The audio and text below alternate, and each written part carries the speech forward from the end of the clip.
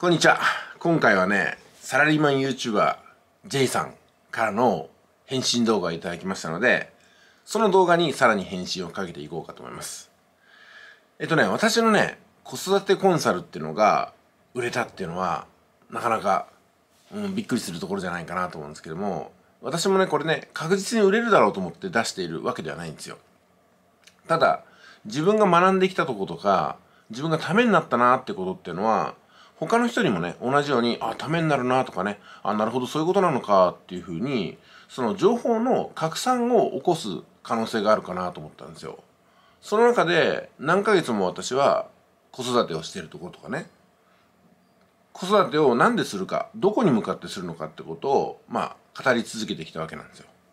で、時には動画を作ったり、えー、実際に画像を使ってね、どういうことなのかを説明したりとかしました。その中で、私はねかなりね子育てとか育児とか療育っていうものを、まあ、事前に学んできたんですよ。でその学んだことを実践するために一定の体力とそれから精神的な強さが必要だなと思ったんで例えば体力とかねあのすでに5年前に私が今の暮らしになった時にまずはね体作んないと。子供が生まれていろいろねよちよち動くようになってきたら多分抱っこもしないといけないし走って追いかけもしないといけないから、まあ、少なくともね、まあ、10歳ぐらいまでの子供たちの体力とか行動力についていけるようには体を鍛え直さないといけないなと思ったわけですよ。それがだから出産の5年前に私が準備したことなんですよね。で2年間ぐらい足腰を鍛えるために山登りをしてその模様も多分 YouTube とかでずっとね、何年にもたって紹介したと思います。まあ何年にもたってっていうか2年間ぐらいですけどね。その後に筋トレを始めて、筋トレの機材を買うところから、実際に筋トレをするところとかをね、紹介して、こうやって上半身や下半身を順番に育てていって、で、最後はね、あの、カンフーの稽古を私してたわけなんですけども、これは子供が3歳ぐらいになった時に、自分の体を守るために、あの、やっぱり一定のね、武術が必要だなと思ってたんで、そのために今やってます。だから来年ぐらいから、あの、大和くんにはね、武術を教えていこうかなと思いますし、10歳ぐらいまでには、会社の作り方とか、お金の使い方とか、それから、それ投資ですか。この辺もマスターさせようと思うんですよ。まあ、つまり、親として私が学んだことっていうのは全部子供に相続する財産になるんですよね。と同時に自分が学んだことを誰かに販売することもできるかなと思うわけなんですよ。まあ考えてみれば世の中ってのは教育ビジネスがいっぱいあるわけですよね。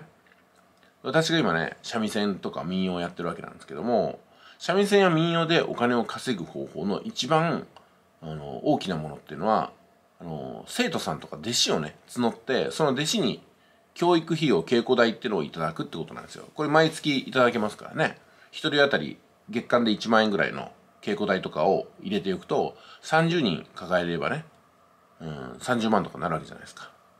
で、お稽古っていうのは2週間に1回45分って決めておけばいいわけですしね。うん、で、これからこういった、うん、お芸事とかね、習い事っていうのは教える人が減ってきますんで、まあ、ですんで教えれる人はたくさんの生徒さんをゲットすることができるし、あとはインターネットでね、あの、教えることもできますんでね、ものすごくやりやすいなと思います。まあ、ですんで、人生30年40年生きてきて人に教えれることお金をいただきながら教えれることを増やすことっていうのはすごく大事なことだと思うんですよね。例えてみるとね会社って上司や先輩が部下に対して後輩に対していろんな仕事を教えますよね。でも教えてるのになんでお金もらえないんですかね有料で教えてあげればいいのにね。うん、でも後輩社員とかそれから部下っていうのは多分仕事を覚えるために先輩や上司以外からもたくさん学んでると思うんですよ。それこそオンラインサロンとかメールマガジン撮ったりそれからねその、うん、幹部候補生を養成するなんとかセミナーとか出たりとかねしてると思うんですよ。自分で自分のことを学ぶ環境を探してると思うんですよね。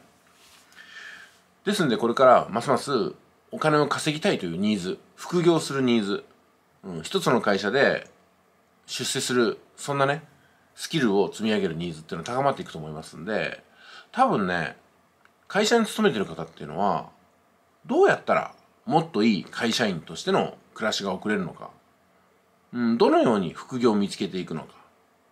どういうふうに将来設計をして会社とは別のですね人生を構築していくのかってことを知りたがってるんじゃないかなと思うんですよ。男性の場合はその人間関係とか社会生活のほとんどが会社ってものにねうん含まれちゃってる場合があります。ですんで仕事を辞めたらいきなり人間関係がなくなったりね。時間の使い方が分かんなかったりお金の作り方が分かんなかったりするんですけどもそういうのってやっぱりいい加減社会人でね10年20年過ごしていたら培っていかないとやばいんじゃないかなと思うんですよ。会社が自分の一生を保証してくるわけじゃないですからね。そればかりか言ってみれば会社ってのはいろんな社員さんの人生を搾取しながら大きくなってるわけですから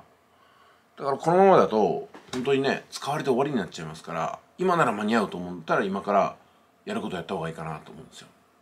で私の場合は今こういう暮らしをしていてあの子育てのねコンサルを売りましたけどもどんな人にコンサルが売れたのかっていうと今のところね子育てが済んで当時どうだったかっていう自分の体験とやり残した苦悩と私のコンサルっていうのを組み合わせてうんなんかすごく妙なことなんですけどもね。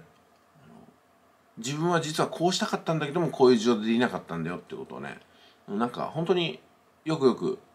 話してくださるんですよ。きっとそういうのを分かってくれる人がいなかったんでしょうね。気持ちはよくわかるんですよ。子育てを一生懸命する中で旦那さんはね子育てする時間がない一生懸命お金稼いで帰ってきて子供の見る時は寝顔を見る時ぐらいなもんでね、うん、なかなかうまくいかなかったところもあると思いますから。今自分が20代で子育てをするとしたらこうしたいんだっていう思いがねたくさんあると思うんですよ。まあ、ですんで私もねあの逆に学ばせていただいてこういうふうにすればよかったんだよ久保さんみたいなね。こういうふうにしたかったんだよと。当時はインターネットもないから情報もないし本当にね嘘みたいな、うん、子育て論を信じちゃったんだよみたいなね。なんか抱き癖とか言ってましたね。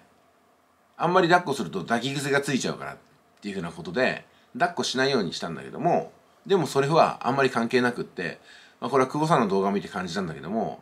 抱き癖がついたっつっても20代30代まで抱っこをせがむような人にはならないから大丈夫だよみたいな言葉がなんかすごくねその通りだなと思ったらしくってね。何の抱き癖を恐れてやったんだろうみたいな思ってましたね。あとねやっぱりこういろんなものを与えすぎると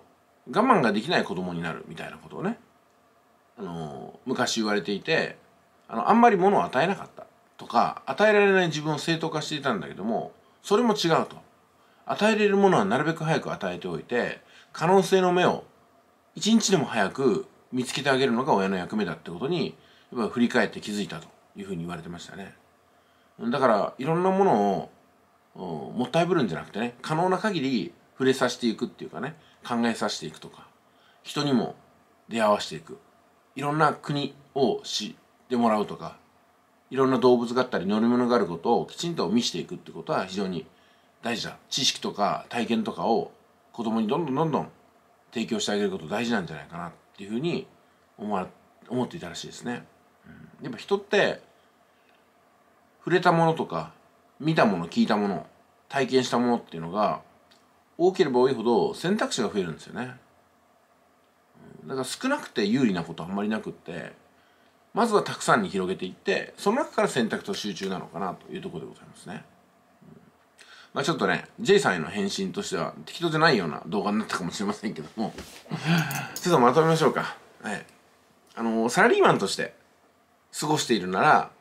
稼ぐことは上手になってるはずなんですよ。でも言われたことだけをやっているもしくは言われたことも100%できていない状態だとお金を稼ぐことに、うん、上手になっていくってことはないのかなと。やっぱりね言われなくてもできる人になることなんですよね。うん、3つのポジションが多分サラリーマンとしても仕事のやり方でね教わることがあると思います。教えたらできる人教えてもできない人教えなくてもできるようになる人この3種類がいるんですよね。で大抵の方は言われたらできる人なんですよ。